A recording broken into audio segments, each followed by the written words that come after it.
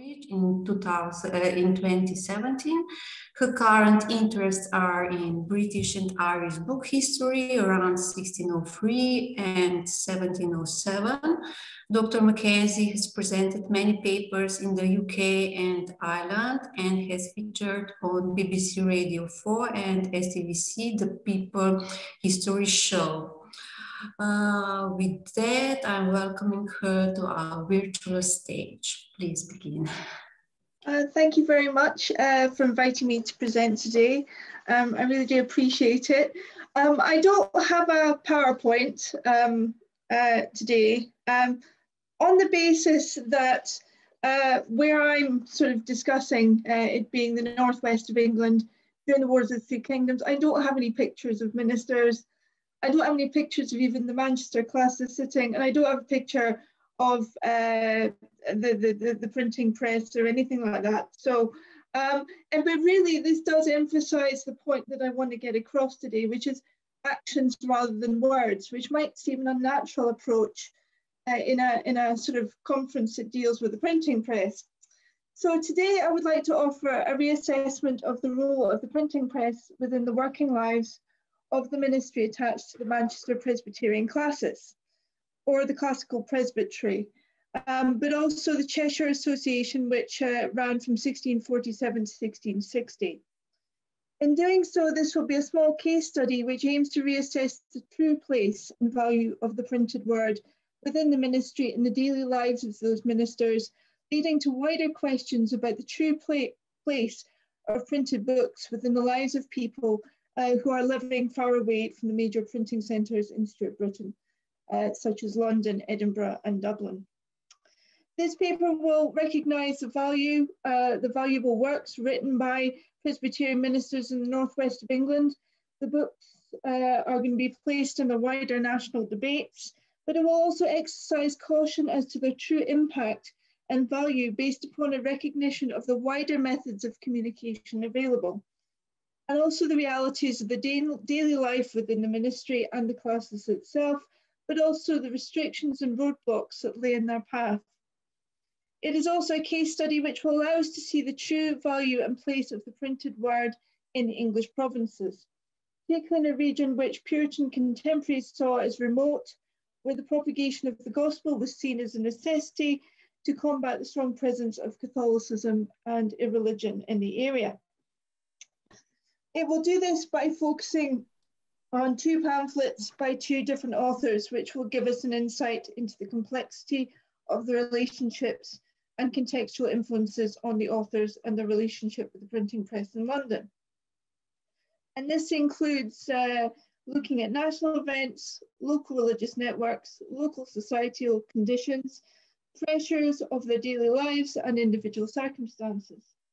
The first pamphlet which will be examined is John Tyldesley's A Copy, a true copy of the petition of 12,500 and upwards of the well-affected gentlemen, ministers and freeholders and others of the county Palatinate of Lancaster, published in London in 1646, uh, which preceded the founding of the Bury Presbyterian classis in 1647.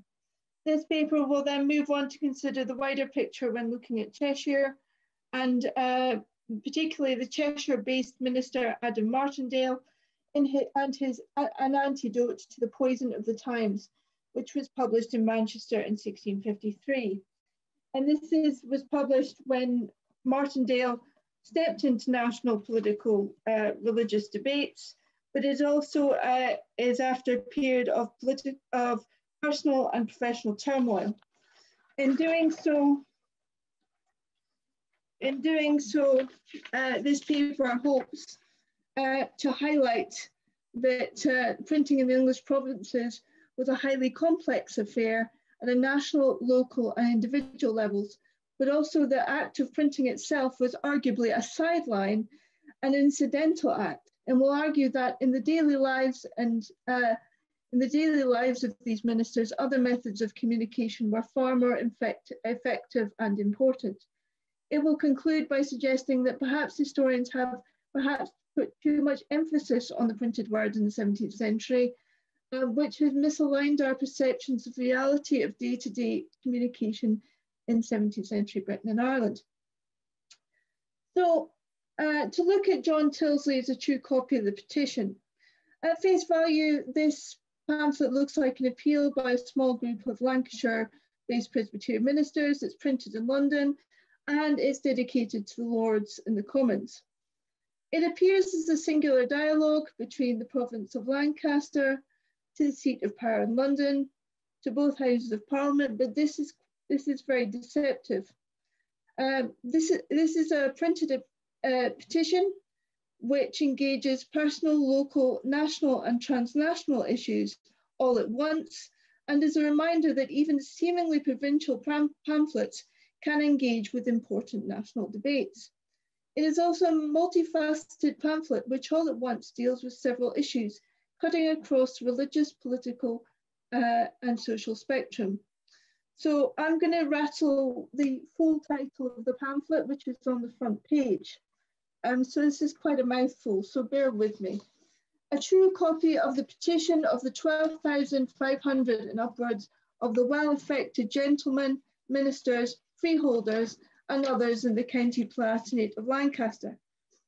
To the Right Honourable House of Peers and the Honourable House of Commons assembled in the High Court of Parliament, together with some true, true and material observations concerning the petition avouched by the advouchers of the petition, rectifying the half stupendous copy lately printed under the name of a new birth of the city of Remonstrance, and invalidating the abbreviations of the nameless petitioner, of the nameless publisher thereof, as, all, as also a particular clear and satisfactory answer to the said advertations, uh, showing the falsehood and frivolous thereof, vindicating the petition and petitioners from all injurious charges, imputations, aspirations, advermentor, showing the harmony and apprehensions and desires betwixt and renowned city of London and the aforesaid county, and what is repute the famous remembrance of that remonstrance that that city is in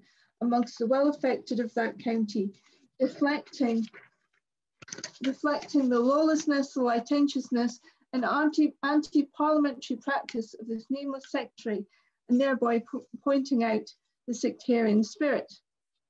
The pamphlet was printed in London and sold in St Paul's Churchyard. It is clear that there are multiple dialogues taking place. To start off, it was appeal from the middling sort to the peers and members of Parliament in Westminster. This pamphlet also takes on a form of a legal dispute uh, surrounding what constitutes the truth and is an appeal against slander from a nameless person. And this is directed to the highest court in the land, the High Court of Parliament. This pamphlet is also an answer to another pamphlet, a defense against a nameless attacker. It is also, it is also to prove that the highest court in the land shares the position of the well-affected in the county of Lancaster. On a philosophical level, it is an assertion of the truth against falsehood, as well as confirmation of the reality of the people which had signed the petition versus the nameless troll that hides in the shadows. This is obviously a sentiment with which our current age in social, uh, with social media we can identify with. It also alludes to the harmony between the centre and the periphery by asserting that the City of London and the Gentlemen of London are on the same page as the classical Presbyterians. As I've already stated in my monograph, The Solemn League Covenant of the Three Kingdoms of the Cromwellian Union, this pamphlet is part of a Three Kingdoms coordinated effort to boost the Anglo-Scottish alliance, mirrored in the groundswell of the local networking that can be seen in England and other parts of England and over in Ulster. It is a defence of the Solemn League Covenant and traditional governance, referring to the dear brethren of Scotland who it states contributed significantly to the war effort and the Honourable Houses. Indeed, it is written and published in London, reflective not just of the purpose of the pamphlet as is an appeal to the House of Lords, but as part of this wider Anglo-Scottish printing network in London. At a local level, this pamphlet is reflective of the establishment of both the Manchester Presbyterian classis in 1646 and the Bury classis in 1647, in essence, this pamphlet, although written by ministers from the county of Lancaster, touches on a multifaceted, multifaceted aspects both at a local and national levels. Instead of a straight line from Manchester to London, it is a complex weave of interconnected issues, perspectives, and arguments. However, again, the national and transnational elements have perhaps distracted us from another aspect of the pamphlet, which is a fierce dispute over the success, the validity, and actions of the Westminster of the Manchester classis at a local level, especially its actions in persuading people to sign the petition as nameless as the nameless authors of the competing pamphlet accuses ministers of the classis of being forceful in their actions. Indeed, this part of the pamphlet highlights that the act of printing is not the strongest way to communicate in Lancashire, but it is reading with care to the public, which is far more important, particularly so that people can understand what they were signing. It has also gave the ministers the opportunity to explain the key arguments and to answer any questions that the populace may have. Indeed, the details of the petition were discussed amongst the ministers of Lancaster by letter principally through the minister Edward Gee, one of the key founders of the Manchester Classical Presbytery, who would later be one of the leading spokespeople against Republican engagement in 1650. Again, this highlights the importance of other forms of communication and a direct role in disseminating the petition. Furthermore, the action of subscribing was a physical action and that was the foremost activity. The signatures collected by Mr. Hollingworth Church were then published and hung on the church rather than printed. Um, again, there's this emphasis on action and not the printed word. The nameless critic uh, to which this um, pamphlet answers, the nameless critic suggested that Hollingworth and his fellow ministers just read out the best bits of the petition to fool people into signing. Indeed, the actions of the gathering of signatures were part of a heated dispute with the classis defending its actions and carrying the petition from house to house, which the nameless critic suggested was unfair. It states that signing petition in a private house is indeed lawful, and that's what classical Presbyterians argue. They argue that the, the physical signing of the petition within the house is lawful. The petition is also sent by post, which, nameless, which a nameless critic objected to on the grounds of secrecy. John Tyldesley himself claims to be a credible and transparent witness to events, which is contrasted with the nameless critic. It is clear that John Tyldesley's printed pamphlet was very much after these events and a defence of these actions uh, taken by the Manchester classis, rather than the whole set of events around the dissemination of the petition to the county. So the, the, the, the printing of this pamphlet about petition in London is after all these events are taking place. Indeed, you could even suggest that the actions of disseminating the petition's details by letter, then reading them in public, are entirely separate from this printed defence of their actions. Indeed, printing was not a central part of the process, but very much an afterthought on the sidelines. However, there's another angle to consider, namely the wider picture. Just how important was this dispute over the petition and, it, and how reflective was it of, over, or, uh, reflective of it was to the day-to-day -day lives of the Manchester classis and its overall aims in the county. In reality, this pamphlet is not much so a reflection of the overall work of the classis, but is a dispute between two individuals, namely John Tyldesley and his nameless critic. If we examine the records of the Manchester classis in August 1646, the month that this uh, petition is published in London, uh, we find that the Manchester classis are grappling with very mundane run-of-the-mill issues by Presbyterian standards. Poor ministers, parishioners having premarital sex, approval of elders, and a case of incest um, uh, amongst uh, a married couple. Uh, which they then, of course, made the marriage null and void. Um, and also there was a case of slander and there were the usual ministerial ordinations. It is clear that uh, this dispute over the petition between John Tyldesley and the nameless critic bore absolutely no connection to the day-to-day -day business of the Manchester classis. Therefore, as historians, we have to be cautious about our emphasis and uh, uh, of our importance of print in the day-to-day -day lives of organizations and institutions at the time. So now we've looked at print uh, place of print in its institutional context look at place, place of print at an individual level. At first sight, Adam Martindale's Antidote to the Poison of the Times is one of the council's pamphlets in the early 1650s, which are very upset with the growth of sectaries and the apparent religious chaos of the English Commonwealth. However, there's a lot in this pamphlet that can teach us about the relationship between print and the Presbyterian ministers such as Adam Martindale, who were part of the Presbyterian networks in the northwest of England during the 1650s. This particular pamphlet had a purpose. It was to be used as a practical catechism in parishes throughout the northwest of England. Uh, as it was printed in London, but it was, um, but it, although it was printed in London, uh, it was to be sold in the bookshop of Thomas Smith in Manchester. So this was certainly for a local audience. For, the, for its ease of use, it was written in the form of questions and answers so that it can be easily be spoken and discussed between ministers and their parishioners. However, although being a printed book, it is spoken, uh, the spoken word does predominate in other ways, um, such as, the, uh, such as uh, for, it, it was mainly used for preaching in his own parish, but actually, the book itself, although printed in London and sold in a bookshop in Manchester, started in a handwritten form and was orally dispersed throughout the northwest of England. The word about the effectiveness of the handwritten form uh, spread to other parishes, and he found that there was a certain demand for this catechism. So Martindale started writing uh, handwritten copies and handwritten transcriptions of the one that he had created for his own parish and copies to share with others. He admits that the only reason why he decided to get this printed in London was because the demand was so great that he feared mistakes in the multiple written transcriptions that he was being asked to write. Um, so that's why he, he got it printed in London. And of course, then the book was brought up to, to, to be sold to Manchester.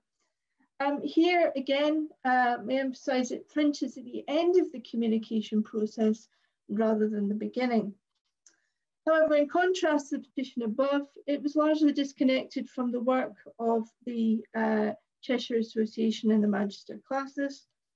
Martindale hopes that print will aid the learning of those too poor to buy, too busy to read, too weak to understand uh, more large and learned treaties. But again, caution has to be exercised even in this process um, where oral dissemination of the catechism predominates. Um, here, and it's the, the oral dissemination predominates rather than the written and printed form. Again, this is a reminder that the oral means of communication vastly outweighed the printed form, even if the printed version could be bought locally. It is a reminder that not everyone could afford books, read, or even understand the arguments, even if they could read. This book is clearly designed to form part of a teaching process or an exploratory discussion between ministers and the parishioners. It is an open-ended discussion to ensure the understandings of the key tenets of the Christian faith. However, we have to further contextualize this pamphlet by asking how does it fit into the overall day-to-day function of Martindale's ministry at an individual level? When examining his life, it is clear that the printed work was the result of a disputation between himself and the independent minister of Dukinfield and Mr. Eaton. Again, this work was printed after the theatrical disputation took place, which again highlights that the oral dissemination of the communication predominated. It also highlights the process of Presbyterian independent disputation in Cheshire, um, that written transcriptions uh, were traded to try and counter the independent success in preaching. Um, writing these transcriptions and printing them is a secondary means of defense against uh, the sectaries. It's the oral uh, means of defense that are more important, and they are the primary means of engagement. It is also quite interesting to know that Martindale had written and transcribed this uh, particular uh, uh, printed work when he was sick. Um, so this would uh, suggest that um, if he had been doing his normal uh, ministry duties. The, the pamphlet itself never would have been written, let alone published in London. We do know that in the early 1650s, he was preaching twice on a Monday, twice on a Sunday. He was catechizing, he was visiting the sick. Um, he was preaching at funerals and baptisms, and uh, he was giving sermons at various private chapels around Cheshire. Um, by his own admission, he was extremely busy. He even travelled far and wide preaching in Staffordshire twice yearly and twice in Lancashire. Lecture, he had a lecture in Chester and he had four different lectures on the go in Cheshire all at once.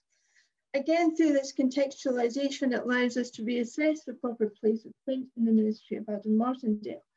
It was a sideline for which he only managed to work due to illness. Therefore, it is questionable if he, if he had been working at full, at full pelt under normal circumstances, whether the pamphlet would have been written at all. So today I have tried to highlight that in order to understand the proper place of print in the English provinces, we have to see the wider picture and actively contextualize the individual pamphlets. Whilst appreciating and admitting our own love of books as academics, we have to admit that other forms of communication such as letters, oral dissemination and written transcriptions were still dominant. Indeed, this paper has shown that in these two cases, they were both in their own ways disjointed from the everyday actions and concerns of the authors, the institutions and their networks. Indeed, it appears that printing books was a sideline, not integral to the Presbyterian ministry in the northwest of England, where the actions of individuals were far more important than static black ink on a piece of paper. Thank you. Uh, thank you, Kirsteen, for your presentation. Um, our second speaker is Joe Saunders. Joe is, uh, is a PG student at the University of York, researching the social history of the English print trade around 1557 and 1666 using wills. He's interested in all aspects of the trade from material culture to networks of credit. In his master's, he carried out social network analysis on wills of members of the stationers community in London during the 1620s and 30s. His first publication, uh, which comes from the research, is a chapter on female agency within the Stationers Social Network and is due for publication this year. Please, Joe, you can begin. Thank you, thank you. Uh, I'm just going to to try sharing my screen and make sure everything works okay. So if I can just test that, and then um, if you if if you can all just say that you can see me okay um, and, and hear me.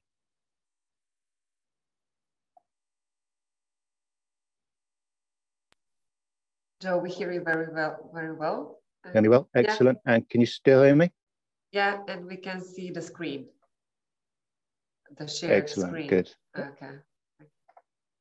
Brilliant, thank you very much. Um, excellent. Uh, so I'm, I'm Joe and I'm going to talk about the environments of the English print trade in the first decades of the 17th century. And this research is from my PhD where I'm using wills to study the trade. I'm going to show you a, a wide understanding of environments we must have uh, when thinking about this trade. Um, and I hope there'll be something here for all of you, um, whenever and wherever your focus lies, uh, not just those working on um, the same time and place as I am, which I, I know some people are here. So the English print trade from inception in the 15th century and for some 200 years afterwards is often thought of as printing houses and bookshops, mostly located within a few places in London. Many of these are well known, such as Paternoster Row, St Paul's Churchyard and Fleet Street, and there is a romantic a not totally untrue image uh, of the print trade clustered together in the capital streets under the shadow of Paul's Cathedral, uh, which is shown here in, in the centre of this map. Indeed, it was in London that almost all domestic printing was done and where most of the country's bookshops were. It was also the London Guild, the company of stationers, which theoretically regulated the trade across the country. Their members were known as stationers, uh, but were variously printers, booksellers, and bookbinders and there has been excellent spatial work exploring the look and layout of bookshops and printing houses, as well as their placement within London's urban fabric. Uh, for example, by Blayney and Johns, uh, by James Raven, uh, who was mentioned in the call for papers for this conference, uh, and Coker's recent article, which theorised space in the English printing house as a gendered sphere. From this strong foundation, we can expand our horizon as London was no island. For one thing, there were booksellers and bookbinders across the country, printing at Oxford and Cambridge, and of course, an important import market. Without disputing the centrality of London bookshops and printing houses, we can place them within a wider environment. McCulloch believes that the historiography of kinship and regional alliances outside London could have significant ideological implications for the book trade plied within it. And it is towards such a historiography that this paper aims. So, what's in a will? Last wills and testaments are excellent for this. Uh, they show people within a wide and complex social and spatial fabric, friends and family, with reference to where they lived, uh, the land and houses they owned, sometimes down to specific rooms, uh, or even specifying their burial plot. Uh, this paper takes over 100 wills proved between 1600 and 1641 in the Prerogative Court of Canterbury, which was the highest probate court in southern England and where most stationers' wills were proved in this period. The paper will outline what these wills have to say about the environments of the trade, moving from what they can add to our understanding of the immediate physical spaces to how they can place stationers within their wider world.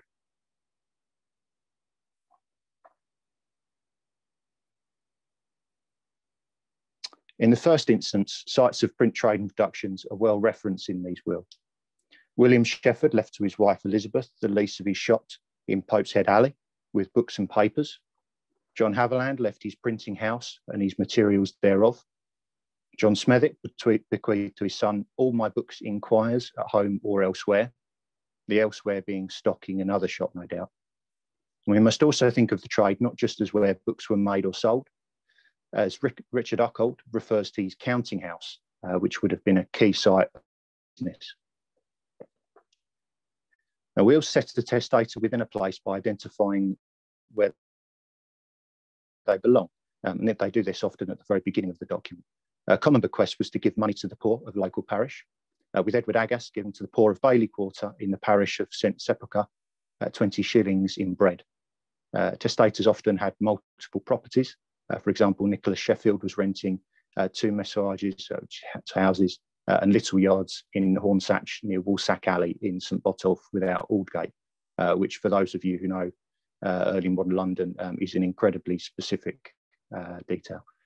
Richard Field named his shop as Displayed Eagle and said there were other buildings around it. And Edward Agas referred to my two leases, the one in Trinity Alley and the other at the sign of the sun at the head of Turnagain Alley on Snow Hill. Uh, again, uh, very specific uh, directions there.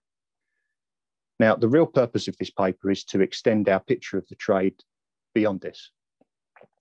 There was a physical world in which it was not just of the trade. The print trade existed, quires and printing tools, um, alongside you know, guns and beer bowls.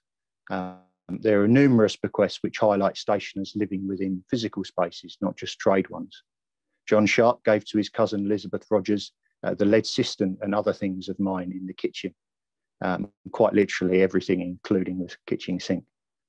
Uh, the bookseller Edward Jordan gave to his son Falk his shop uh, with all the stables, haylofts, and chambers therein, uh, as well as the nags, uh, the horses in the stables, uh, showing how spaces for the trade coexisted with all kinds of other spaces. Uh, in the time remaining, I'd like to show the range of practical and emotional connections that print trade people had beyond London. And this ranged from houses such as Richard Sergius, uh, who had a, a, house in Staines, uh, John Budge, who left my lands and tenements at Kells Hill in the parish of Marks Hall, Essex. Uh, stationers also gave to places of their birth, uh, underlining how many people in the London trade came from across the country uh, and retained lifelong ties to the places they came from. Uh, John Hodgetts gave to the poor of Sedgley Parish in Staffordshire, where I was born, 60 shillings. Uh, William Barringer gave for the building of so many almshouses for the poor men of Stevington in Bedfordshire, where I was born. Uh, and these, uh, these houses actually still exist. Uh, the link between places of birth could also mirror current trade links, such as William Stansby, who gave to the poor of the parish of St Mary the Moor in Exeter, where I was born, five pounds. Uh, and also his friend John Mungwell of Exeter, bookseller, three pounds. Of course, wills come from people outside London as well. Uh, Ralph Morden was a bookbinder in Stamford in Lincolnshire. Uh, Edward Jordan, uh, who I've mentioned before, was a bookseller in Worcester uh, and he gave a fantastic sense of his location, uh, the content of his shop. Uh, when he left to his son, all and singular my books and wares relating to my trade of bookselling, which were in my shop on the Fore Street of the Messuage, wherein I now dwell, and also all my other books in any part of my said house. And I've marked on here uh, some of the, the places mentioned in, in these wills, um, just the ones that I've referenced in this talk. To underline the connectedness of early 17th century England, um, I've got here an image of the cartograph, which is being constructed by the Viae Regiae project to map the transport network of England Wales from 1530 to 1680. England was an interconnected place. As well as these people named in wills, we must also consider the network of people which connected them, uh, the carters, carriers, chapmen and women uh, who carried these things uh, along the roads. Uh, the English print trade was also connected to the rest of the world, uh, and I'd like to end just by thinking about some of the most interesting places uh, I found mentioned in the wills of stationers. Now, two stationers period uh, between 1640 and 1641 uh, had their wills proved on East Indiamen, uh, ships bound for the East Indies. Uh, Thomas Adicott on the Dragon in 1680, and Roger Pott, who made his will in 1636 on the East Indiaman Palsgrave. Uh, I can't see about Adicott uh, but Pott had begun a career in the trade, um, and their intents and actions really need more work um, as we think about some of these connections. Um, we know more about the bequest of George Swinhoe, uh, which he leaves uh, all my two shares of land in the summer island beyond the seas in Warwick tribe, containing 50 acres of land with all buildings and apartments, uh, sort of outhouses and things, uh, the summer island was Bermuda. Um, we've got a, a picture here, uh, and I've had the kind help actually of, of Neil Kennedy, 44, uh, in Warwick tribe, which is the area there indicated by the arrow. Um, and this was in uh, Richard Norwood's 1622 survey, so shortly before Swinhoe died. Uh, apparently, this was quite good land, um, but Swinhoe never seems to have, have developed it. Um, and this is a common complaint by the company to its shareholders. Uh, Swinhoe was named as one of the original investors in 1615 alongside William Welby, who was another stationer. Uh, Welby was an, also an investor in the Virginia Company uh, in North America. Uh, and he actually, uh, Welby, published works singing the praises of both places. Um, so actually, we've got a link here seeing how colonial ownership could influence what was printed back in London. So we've travelled quite a long way from the, the, printing houses and bookshops in the shadow of Paul's Cathedral, um, physically and, and, hopefully conceptually, uh, as we think more deeply about the range of spaces and places that influence the trade and, and vice versa. Uh, we can conceptualise print production within a vibrant environment. The horizons of the early modern English print trade were broad, and although London was a centrifugal point, most people were born and lived much of their early life away from the metropolis and many held links to a wide range of places during their lives, uh, which influenced them uh, and likely they influenced those places. There's a lot more work to do, uh, hopefully not all by me. Uh, I'd love any questions. Uh, I've put my email up here, um, so please do get in touch. Um, thanks very much everyone for listening uh, and thank you everyone for all your work organising this. Um, it's great to be part of such an exciting event. Thank you. Thank you, Joe. Our first speaker is Dr. Maria Klobčar. Dr. Klobčar is a senior researcher from the Institute of Ethnomusicology at the Research, Research Center of the Slovenian Academy of Sciences and Arts. Her research interests include ritual songs, ballads, and soldier songs with an emphasis on the social context. Her monograph On the Way to Kamnik from 2016 explores relations between folklore and everyday life with particular attention to differences between town and village and the way they are reflected in the songs of the region. She has also researched the roles of men and women in the transmission of ballads and inter cultural relations, bilingual songs, songs transferred from one linguistic community to another, and itinerant singers, including blind singers. Her book, Listen to My Voice, Itinerant Singers in Slovenia, was published last year in April. Uh, please, uh, Dr. Klobčar, the virtual floor is yours. Thank you. I will start with my PowerPoint presentation.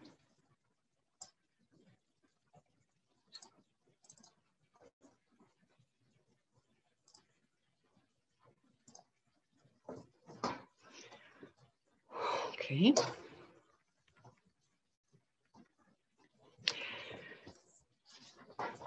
I will talk about uh, Slovenian lands and the broadsides in connection with singing.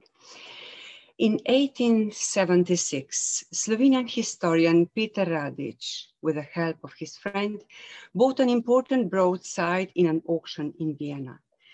It was the broadside with the song Ein neues Lied von den krainerischen Bauern, a new song about the Carniolan, Carniolan peasants, which refers to the Great Slovene Peasant Revolt of 1515.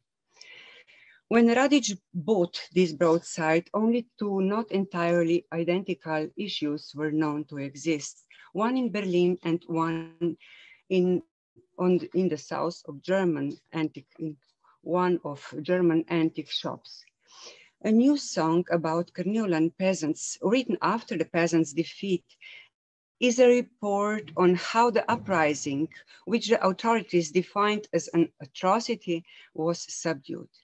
It was intended to spread the news of this event in the German-speaking environment.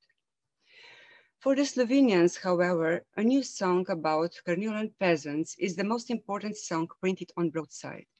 It quotes the slogans of the Slovenian peasant armies, specifically the rebellious slogan Stara Pravda, old rights. It was a demand for the restitution of the peasants' rights. And the slogan Lokup, Lokup, Lokup, Boga Gmajna, come together, come together, your poor commons, which called on the peasants to unite and join the uprising. These are the first printed words in Slovenian language. From the 16th century onward, Ljubljana became an important center for communicating news in Central Europe. Due to its important geostrategic location close to the Ottoman Empire, news dissemination played an important role in the Slovenian-speaking environment. Song broadsides, known as Neuzeitungen, conveyed news of battles against the Ottoman Turks and others. The expression Neue Zeitungen indicates the role of German language in Slovenian lands. They were mostly part of the Habsburg Empire and the German language had important role. In the official news dissemination, which was the responsibility of the authorities, Slovenian was first used at the end of the 18th century, whereas in the practice of spreading news in the form of songs, it attained its proper place during the establishment of the Illyrian provinces. Several propaganda songs, either militia songs or songs period, including the drinking song, Noter vzetje mesta Paris, the occupation of Paris. Uh, we can see here uh, at the bottom of the uh, second side that the song was composed and sung in Kamnik. It's a small town uh, in the central part of Slovenia. Here the question arises not only as to the existence, but also as to the preservation of the leaflets. There were two reasons for the preservation of this particular song.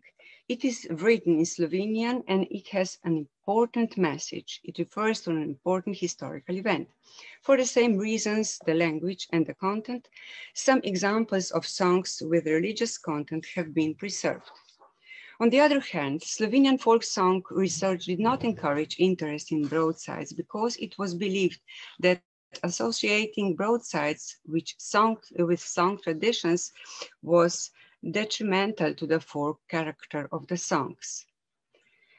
In the comprehensive uh, collection Slovenske narodne pesmi, Slovenian folk songs, many songs have been excluded as non-folk.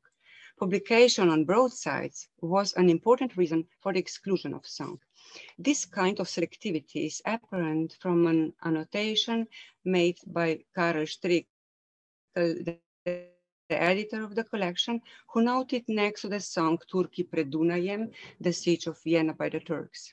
I quote, this is sung about in another song that I do not think is a folk song. It was probably created after a German historical song that was spread on the so-called Fliegende Blätter broadsides.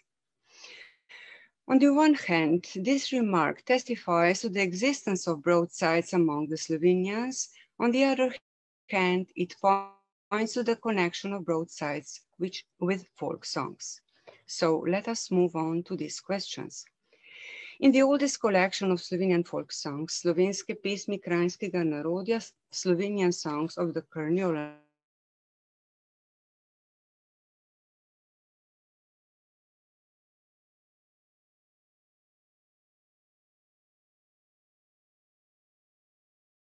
People entitled in political exile in Ljubljana at that time. The song about the Lisbon earthquake brought the story of a tragic event in the distant place unknown to the majority of the Slovenians. By the way, one uh, this uh, earthquake was one of the deadliest earthquakes. Uh, between 30,000 and 50,000 people died, um, mostly because of the tsunami. The inclusion of these songs in the Slovenian National Folk Song Collection shows Korytko's broad conception of folk songs. Uh, it is interesting because collecting folk songs had a role of national identification and in the following decades, this role was all the more important. Aware of the consequences of German pressure, collectors sought out the songs that represented the lives of the Slovenians and those associated with the Slovenians. So the songs about the Lisbon earthquake were not included in the next collection of Slovenian folk songs.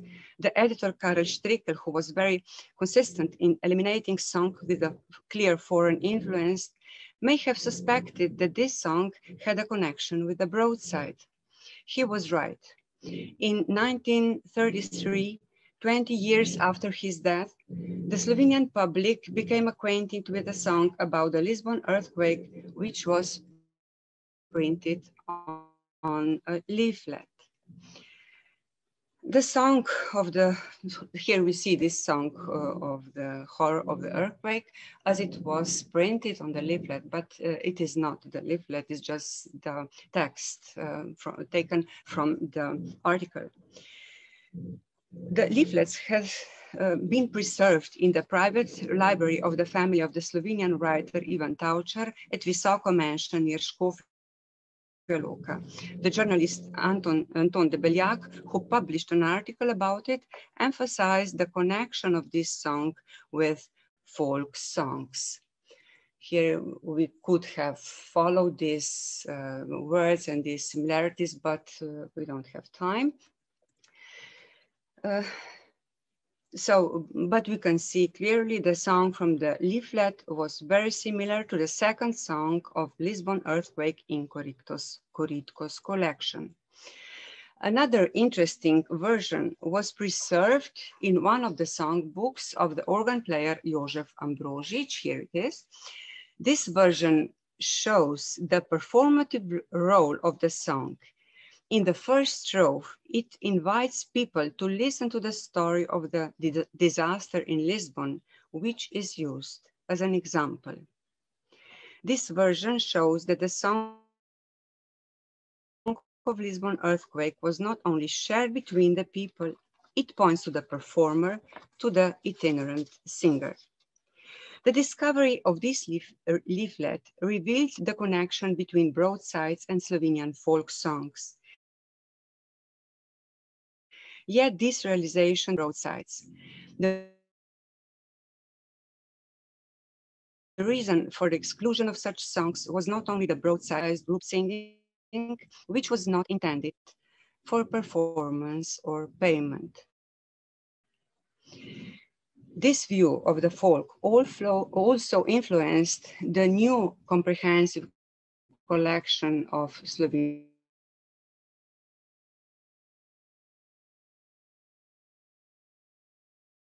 Slovenian folks, despite the belief that Slovenians and despite the assumption that singing at fairs did not develop so much among South Slavic nations due to the vitality of folk songs production, the third volume of the collection Slovenske ljudske pesmi, Slovenian folk songs, published the song Plemič Zapeljivec, the nobleman's seducer, which is clearly based on a, the following. I quote, the model for this song is the German ballad Ritter und Magd, Knight and Maid, or more precisely, a newer version of it that was disseminated in the 18th century, especially through broadsides. Let us listen to this song. Oh, one's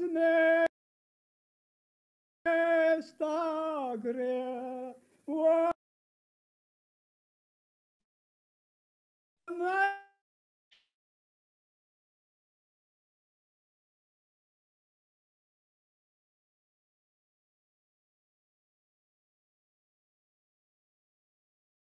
je pramočno.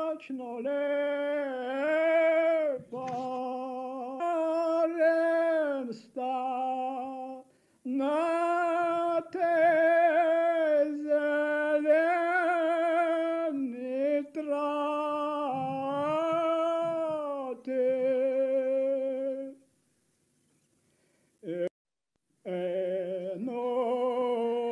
this sound recording, it comes from the Institute of Ethnomusicology, ZRC The impression of fair singing is preserved but the story is very abbreviated. It only hints the act of love um, between the nobleman and the girl, but leaves us from would not be denied. Through folklorization, these songs became an important part of the Slovenian folk ballad tradition.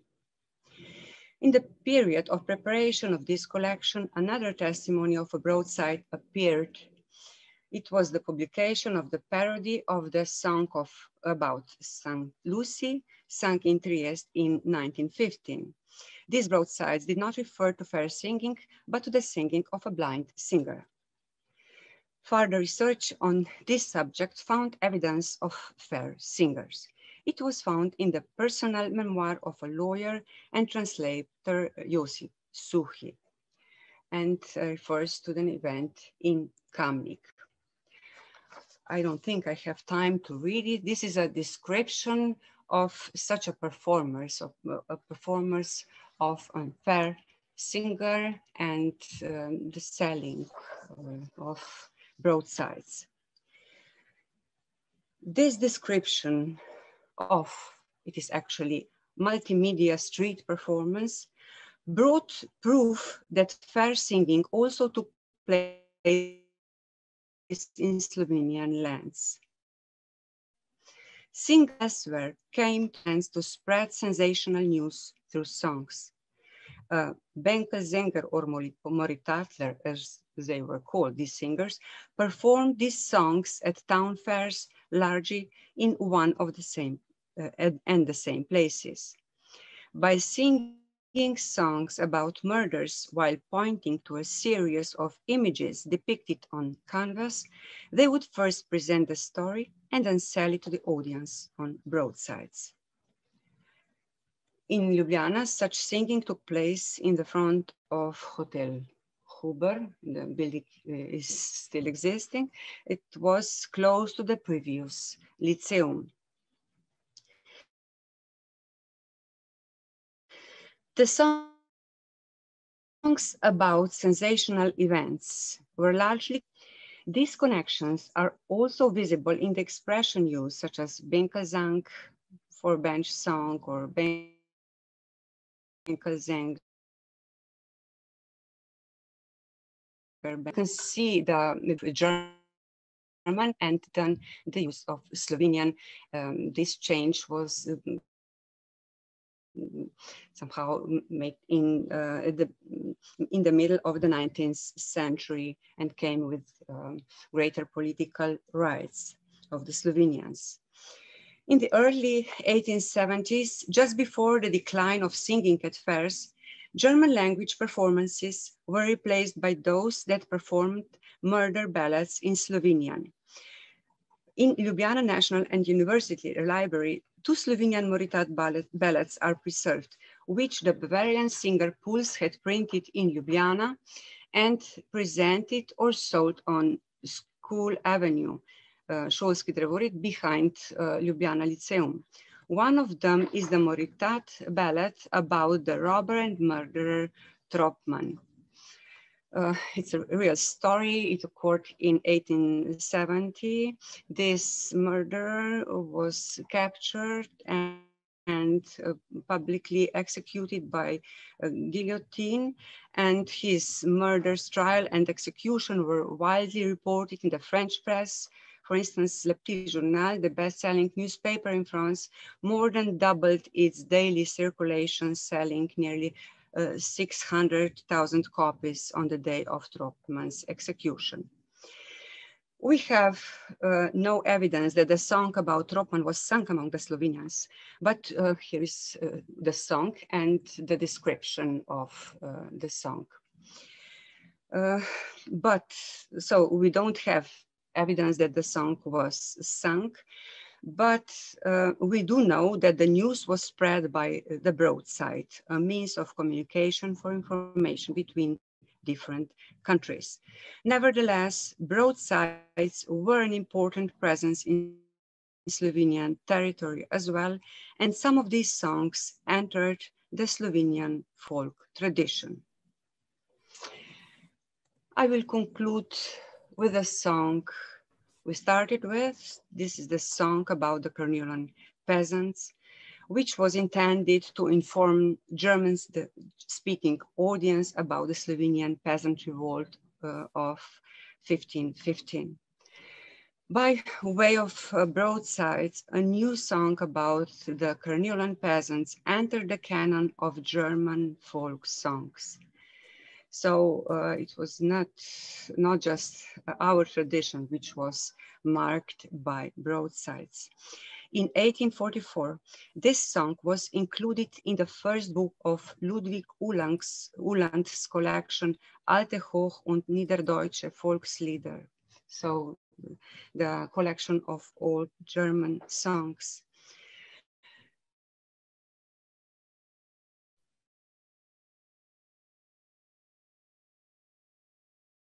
The process of authorization preserved in this way the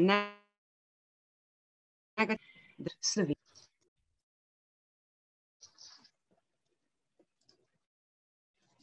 Um, hi, we don't have a lot of time for all the questions. So uh, but I will try to read them all. uh, first, for, uh, for, for Kirsteen, uh, one of our attendees, Ms. Bale, wondered if you could contextualize the Northwest area in terms of its orality literacy. How does it compare, for example, with other regions in terms of the literacy of its population? Your argument about the primacy of orality presumably fits with what Adam Smith has established. Question mark. Kingdoms. It depends who you talk to, really. Um, if you talk to somebody like Adam Martindale and um, and the, the, the, ministers of Presbyterian classes, they saw Lancashire and Cheshire as part of the sort of dark part of England where it was seen as quite remote. Um, but that's their prejudice on that part of the world because they wanted to propagate the gospel. Catholicism was still quite strong in that area. And of course, Britain being a Protestant country, um, and being Presbyterian ministers, they wanted to propagate the gospel. So I think in terms of the, my paper, um, you're dealing with the prejudice of those ministers against the area in which they're operating. Um, uh, what, what, is, what is interesting is I think that there is, um, I mean, I don't know about, about the areas specifically in terms of literacy, but what I do know is that there are a lot of booksellers who are actually members of the Manchester classis. So there are, are obviously booksellers in Manchester, which would suggest that you know there is literacy in the northwest of England. But again, as I say, it depends who you talk to and the networks in which you operate in in, in that sense. Um, so um, I don't know if that helps answer the question, but I just wanted to highlight that maybe as I say, there, there's prejudice there from the point of view of the ministers that we're, we're dealing with, that they think they're in a what they would call a dark corner of England that is backward and they, from their perspective um, in terms of, of literacy and all that, and, and maybe not as bad as they think it is. That makes any sense. Thank you. Uh, Joe, question for you. Uh, were there lists of inventories with possible brief description of, of print shop artifacts in the wills or instructions for the next generation, as was as was recently published by Christoph Seleschlag in the journal The Golden Compasses on Balthasar Plant in Mauritius in 1659 uh, to 1673. Uh, yeah, thank you. Um, I've not read the article actually, but I, I did read uh, or I listened to to Christoph's work before at, conferences, um, which is excellent. Uh, there, briefly, yes, there there are some instructions, and, and um, unfortunately, the, the, the nature of wills uh, on one hand is that we get an excellent insight that, that doesn't appear in official records but the flip side of that is the will isn't intended to tell us all about the print trade. So what we do get are often little snapshots.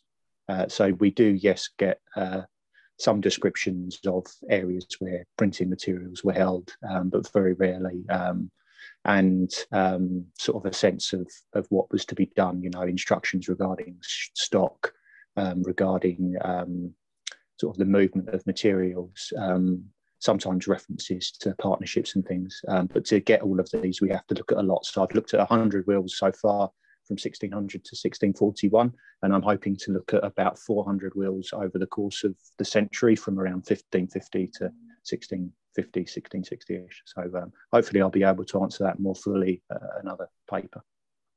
Okay, thank you. And the question from Maria.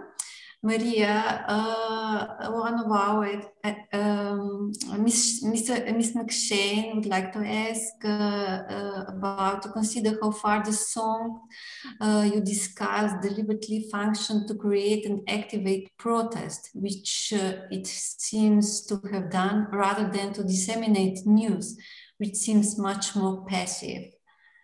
Uh, what do you think? Well, I found, thank you, I found some songs, some folk songs and uh, about the protest, uh, for instance, about the, or the revolution in 1848. And it very clearly shows that uh, these were songs which were distributed in this way. So uh, in folk songs stayed some old protest songs, but uh, the research has to go in another way. So uh, we have to seek for these leaflets uh, from folk song. But uh, I cannot, well, give an answer how many songs, such songs we had, because, um, well, I, I don't think, think it's um, possible to uh, find them in this way, all of them. Some of them stayed. That's the problem. There was a selection uh, in they went to into oblivion uh, when they were not interesting anymore for the people. If they were not preserved somehow. Okay. Uh, question for joe. Uh, was involvement in the early modern print trade something that was transmitted through families and is there evidence of widows taking over uh, from their husbands? Uh, yes. Uh, firstly, very strongly. Um, a lot of um, passing through families um, directly and indirectly in the trade. Uh, and regarding widows, uh, yes, very much so. Um, there's been a lot of work done uh, by Maureen Bell, who's here, Helen Smith, uh, there was a, an excellent edited collection out last year uh, by Valerie Wayne, uh, Women's Labour and the History of Book in Early Modern England. Um, so we're probably at the point now where we're arguing not just that um, widows took over, but, but actually were that women were involved throughout the process, you know, that they swayed their husband, made publishing decisions with and without uh, men present. Thank you. Thank you all for the presentations to, and all the questions sent by the, the attendees. Thank you. And, uh, and now, uh, this is the, the end of our, our session.